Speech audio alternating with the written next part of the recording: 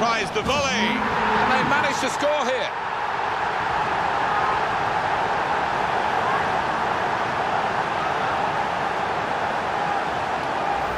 And the way he's volleyed it, the keeper really couldn't get across quickly enough. It's a fantastic strike.